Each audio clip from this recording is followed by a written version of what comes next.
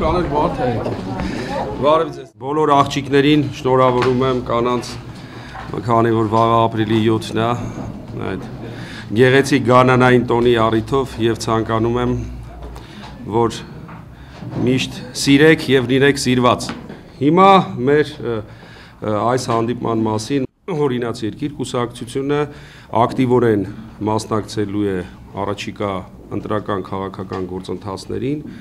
մենք ներկայացրել ենք մրցունակ թիմ քաղաքապետի կայացած տեխնացու իդեմս Արմեն Երիցյանի եւ բավականին մրցունակ նախընտրական ծրագիր, որի շնորհանդեսը տեղի կունենա վաղը Արմենիա Մարիոտ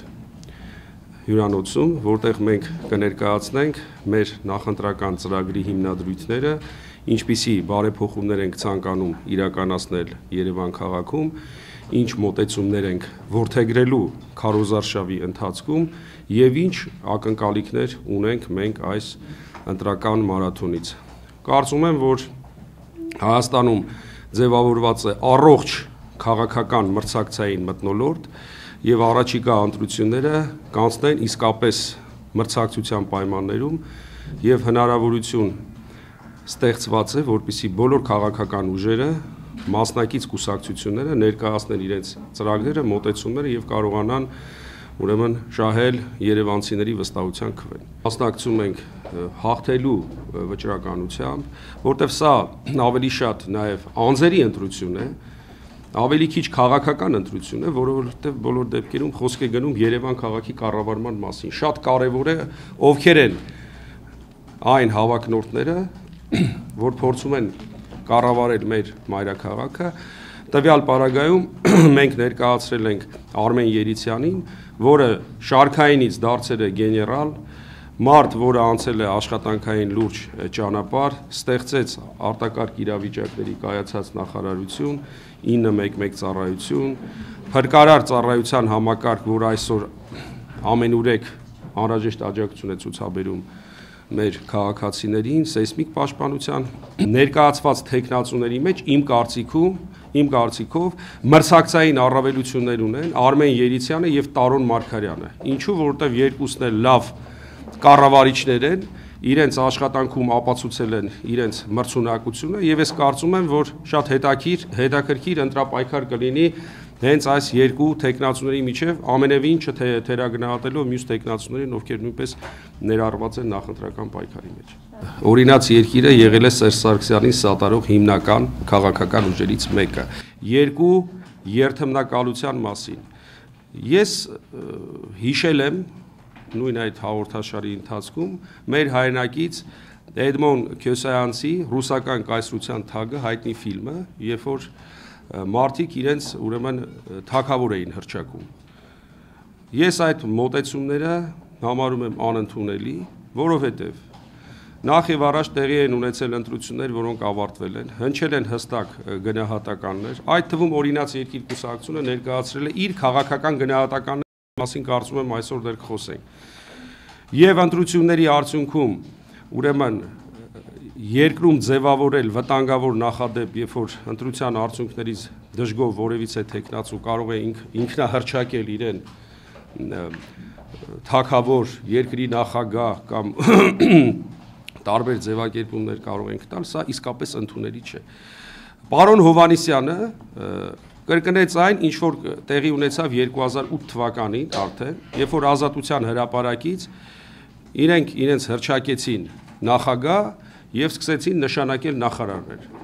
Այնուհետև 1 ամիս անց գրեթե պարոն Հովանիսյանը ասաց, որ ես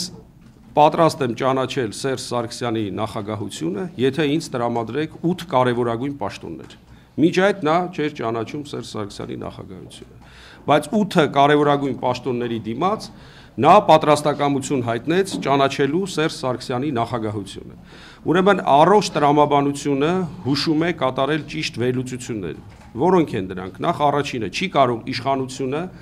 կառավարությունը ուրեմն մասնատել մի քանի մասերի։ Այսինքն Պարոն Հովանիսյանը, որ պահանջեց հարկային ծառայության, մաքսային ծառայության եւ բազմաթիվ այլ բարձրաստիճան պաշտոններ, այսինքն չի կարող լինել այնպես, որ հարկ հավաքողները լինեն ընդդիմության ներկայացուցիչները, իսկ թոշակ ու աշխատավարձ բաժանողները իշխանության ներկայացուցիչները ով որ տեղյակ է Հայաստանի Հանրապետության սահմանադրությանը կամ ցանկացած որևիցե երկրի սահմանադրության նման բան տեղի ունենալ չի կարող որտեղ իշխանությունը դա միասնական քաղաքական օրգանիզմ է կառավարությունը նույնպես եւ նման պահանջները իրավական հիմնավորում չունեն դրա համար ես ներկայացրել եմ իմ մոտեցումները որ կա 3 հանգուցալուծում ստեղծված իրավիճակի առաջին Պարոն Հովանիսյանը չի ճանաչում ընտրությունների արդյունքները, շարունակում է իր պայքարը ուրեմն փողոցներում, հրապարակներում, չճանաչելով ձևավորված իշխանության լեգիտիմությունը եւ իր պայքարը տանում է այդ շրջանակներում։ Երկրորդը նա ճանաչում է ընտրությունների արդյունքները, իրեն հրճակում է ընդդիմադիր առաջնորդ եւ փորձում է կոնսոլիդացնել քաղաքական դաշտը։ Եվ երրորդը նա քաղաքական համագործակցության եզրեր է փնտրում իշխանությունների հետ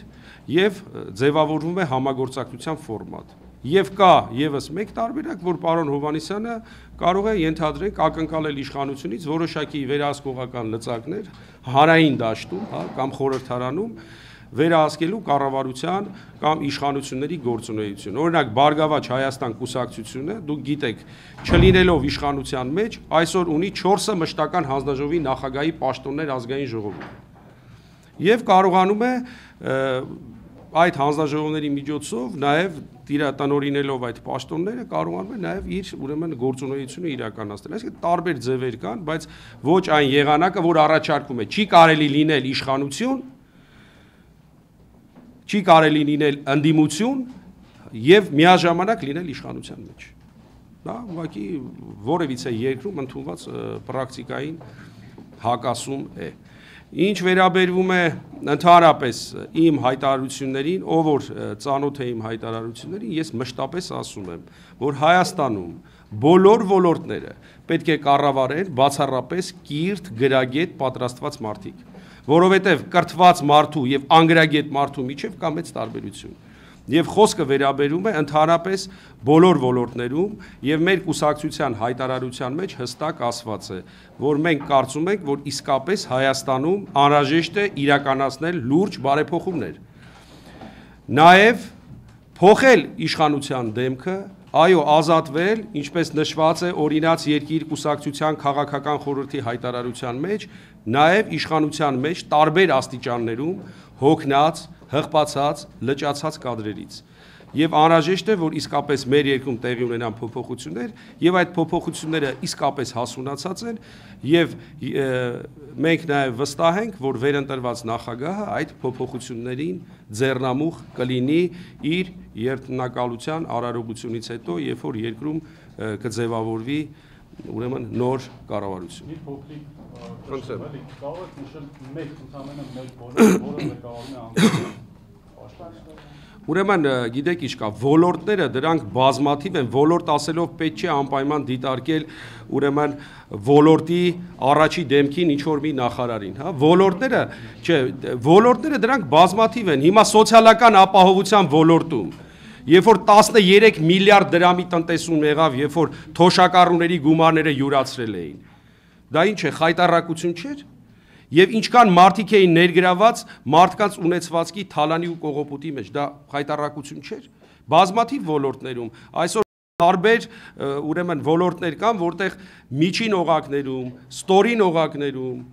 իսկապես լուրջ փոփոխություններ է հասունացել։ Կան մարդիկ, ովքեր 20 տարի նույն պետական պաշտոնին են նստած, նույն։ Մենք քտում ենք, որ պետք է բնական ռոտացիա տեղի ունենա պաշտոնեական փոփոխություններ պետք է տեղի ունենան, պետք է կադրային փոփոխություններ տեղի ունենան, բնական սերնդափոխություն պետք է տեղի ունենա եւ օրինաց երկիրը այս քաղաքական գծին սատարելու է այսինքն լինելով իշխանության մեջ պատասխանատվություն կրելով իշխանության գործունեության համար մեզ վերապահված լիազորությունների շրջանակներում մենք մշտապես բարձրաձայնել ենք եւ այսուհետ եւս բարձրաձայնելու ենք այդ փոփոխությունները իրականացնելու անհրաժեշտության մասին, որտեղ մարդիկ փոփոխություններ են ուզում։ Ես իմ ելույթում ինչ ասացի, ասի Քաջարանում որտեղ 90%-ը աշխատանք ունի, 90%-ը կոնկրետ համայնք են բերում։ Բարձր աշխատավարձ են ստանում։ Ինչի Ռաֆի Հովանեսյանը հավաքեց այդքան քվեներ, ինչի իշխանությունից դժգոհ այդքան հատված կա։ Չէ՞ որ մարդիկ իրենց ընտանիքները կարողանում են պահել։ Այսինքն այստեղ գալիս է մեկ այլ պատճառ եւս ոչ միայն հացիվ Մարդիկ նաև ուզում են արդարություն, իրենց իրավունքների պաշտպանություն, օրենքի իշխանություն, իսկ սա նշանակում է, որ պետք է լուրջ վերլուծություններ արվեն իշխանության ներսում, ըստ ոլորտների, ըստ համայնքների, շոշափել մարդկանց հանրային տրամադրությունները եւ այդ հանրային տրամադրությունների վերլուծության հիման վրա կատարել փոփոխություններ։ Շատ կարեւոր եմ համարում 4-րդ իշխանության լրագրողների դերը, ձեր գրած հոդվածները, հրապարակումները, մտահոգությունները, դրանց վերլուծությունները, հասարակական կարծիքի հաշվառումը Հիմա տեսեք, ինչքան քաղաքացիական նախաձեռնություններ կան այսօր։ Պետք է ողջունել այդ քաղաքացիական նախաձեռնություններին, ովքեր խնդիրներ են բարձրաձայնում, պայքարում են իրենց ուրեմն հնչեցրած կարգախոսները իրականացնելու համար։ Մենք օրինակ այցելեցինք Բյուրական։ Այսօր ինձ տեղեկացնում են, որ Բյուրականի վերածննդի քաղաքացիական նախաձեռնություն է ստեղծվել որտեղ բյուրականը իսկապես ազգային արժեք է, գառնին իսկապես ազգային արժեք է բայց շատ այդպիսի նաև ազգային արժեքներ այսօր խայտարակ վիճակում են գտնվում, որտեղ պատշաճ տեր չեն կանգնել, հսկողություն չի եղել։ Հիմա պետք է լուրջ ուսումնասիրություններ կատարել եւ այդ փոփոխությունները կատարել։